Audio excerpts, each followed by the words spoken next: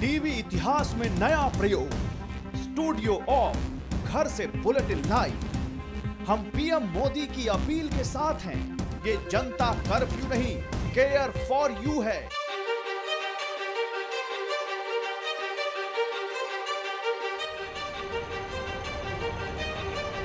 Thank you.